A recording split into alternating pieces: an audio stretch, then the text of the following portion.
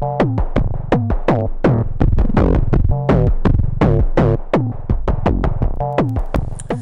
is part two of my domain and range video. Uh, in this video, we're just looking at graphs, not doing too much algebra right now, but we'll come back and do an algebra-based domain and range video after this.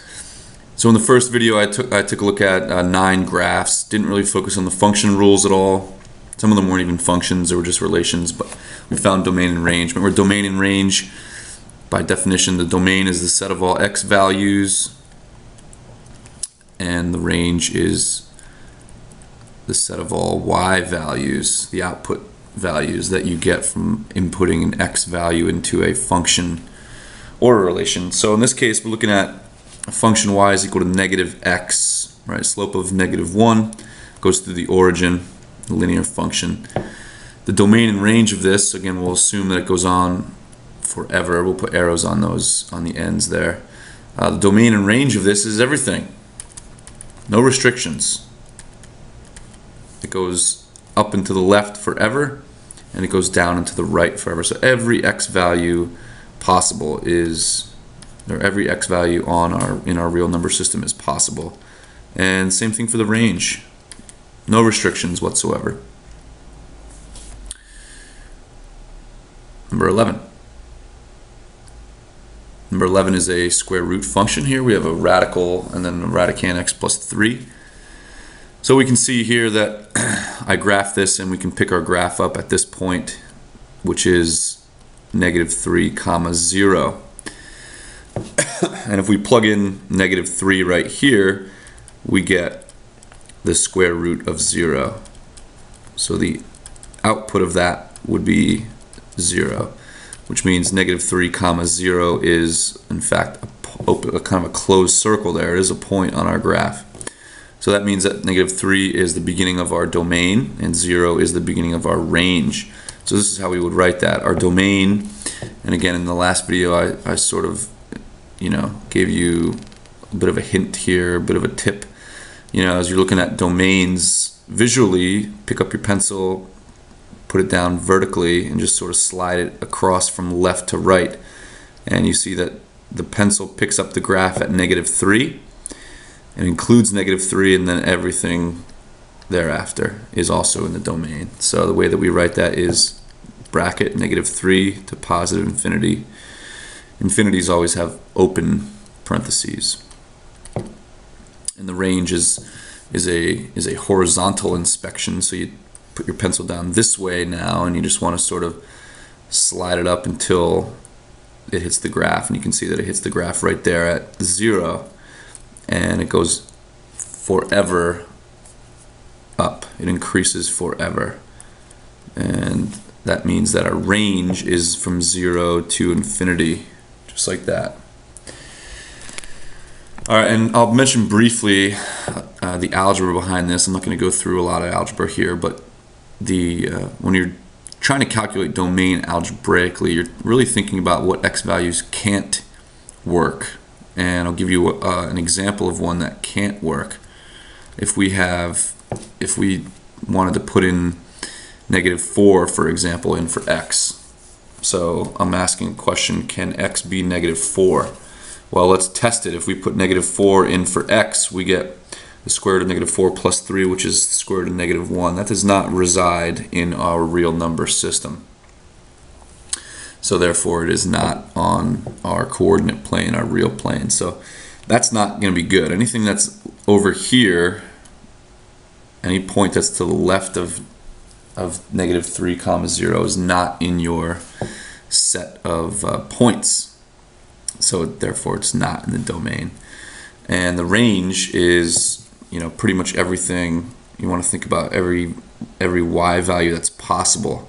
And sometimes it's even it's easier to think about what's not possible. In other words we can't have any values underneath our x-axis because the uh, square root of something can never be negative in our real system so uh, and there is a bit of a trick to that sometimes you know to find algebraically to find the range you just you know pull an old inverse. You know you're trying to find the uh, the domain of our uh, of your inverse. Uh, the way that it goes is if, when you find your inverse, which I'm not going to do in this video, but algebraically to find the range, uh, the range is going to be equal to the the range of your original function f of x is actually equal to the uh, domain of your inverse, uh, which is kind of a cool thing. The domain of your inverse is equal to the range of your original. Uh, I'll probably do a whole separate video on that when I get to the algebra behind this stuff. But let's continue. Number 12. Again, we have a, uh, a rational exponent here, which, uh, if you remember, actually transfers into uh, the fourth root of x. So again, we can't have any negative values here in our range or in our domain. So the way that we would write that is our domain zero is okay because we can plug in, we can find the fourth root of zero. The fourth root of zero is zero. So the domain is cool at zero. We close it. We close that bracket a little bit better. And it goes on forever to the right. The range, same deal. We're allowed to have zero. Zero is good. And believe it or not, even though it doesn't look like it increases forever vertically, it actually does. Number 13. It's a cubic function. Has an odd exponent right here. And that means that we're going to go the end behavior here. One side goes up, one, one side goes down, which tells me that my range and my domain both are all real numbers. All real numbers. No restriction on the domain. Every value uh, left and right is eligible and also for the range every value up and down is eligible. Another way of writing that, of course, is to write it like this. Negative infinity to positive infinity. Number 14. All right, this one's interesting. It is a fourth degree function, negative lead coefficient, translated three units up, one, two, and three. So because of that lead coefficient being negative and because we have an even exponent, this thing is going to be open down. Uh, which affects our range, right? Our range cannot go above here. The maximum value on this is right there. The domain, on the other hand, has no restrictions. This is going to go left and right forever. As, as much as it goes down, it is still creeping a little bit to the left. As much as it goes down over here, it is still creeping a little bit to the right, and that'll do that forever. The range, on the other hand, goes from negative infinity to positive 3. So it's everything below 3. 3 is our max our max uh, y value there, 0 comma 3. All right, moving on. 15. 15, we're looking at a function 1 over x. And I graphed this for us as well. So we're seeing that we have domain and range restrictions. Again, domains you want to start thinking about you want to start thinking about up and down. So as we scan in from the left, we see that it goes from negative infinity, and then all of a sudden we see that we have an asymptote right there. And the asymptote is seeing that at x equals zero. And the reason that that there is a break at zero is because if you wanted to plug in zero in for x, you wouldn't be able to yield a, a value. One divided by zero is undefined. So that gives us a vertical asymptote at x equals zero.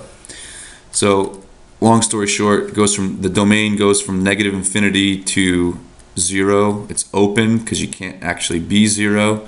And then we throw in a union there, which is basically just a u and we write it like this, it picks back up at zero, can't be zero, but it could be like 0.00001 and goes all the way to positive infinity. And the range,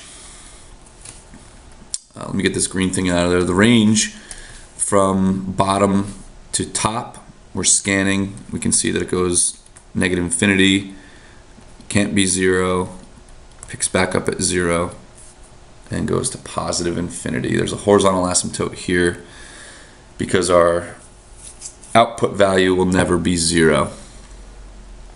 So that's how we write that. If there's just one single value that is impossible, this is how we would write it in what we call interval notation.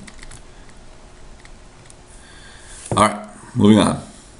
Almost done here. Number 16 is, again, similar to the last one, looking at a function where we have some uh, asymptotes here and the domain has a restriction domain algebraically here I'll mention very briefly that the algebraic idea is when, when you have a fraction like this and there's a there's the x term in the denominator you're thinking about what that denominator uh, what, what x value will turn that denominator into zero.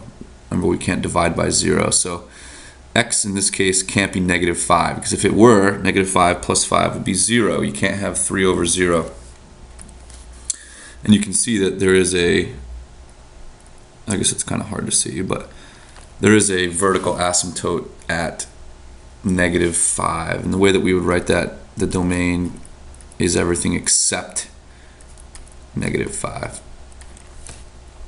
if you wanted to use what we call set builder notation you would say the domain is everything in the real number system and it can't be x can't be negative 5 and this bar in, in math means uh, such that and this is this symbol right here means is an element of and this is the real numbers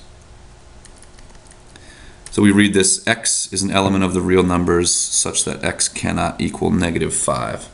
Something like that. That's what we call uh, set builder set builder notation. I'm a little rusty with that, so I think I think that's right. Anyway, I'm off track again. We uh, want to talk about the range negative infinity to looks like we have a horizontal issue here at zero again. So it's everything except zero. Cool. Last one. Trigonometric function of cosine. Cosine, you can see, is a uh, harmonic uh, graph, and it goes sort of serpentine up and down forever and ever and ever. And this is the regular parent cosine. It's very standard. It goes from positive 1 to negative 1, and it just keeps bouncing back and forth.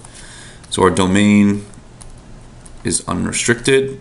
Our range is restricted big time from negative 1 to positive 1, closed. and uh, that about covers it. So as always, make sure you uh, hit subscribe so you don't miss any videos. I'm going to uh, post a bunch of videos today. Coming up next, we have, you know, we're going to talk about piecewise functions, composite functions, symmetry of functions, evaluating functions, composite functions, all sorts of cool stuff. So, and I'll also get into uh, the algebra behind all this domain and range business. Uh, so thanks for watching, and I'll see you in the next one.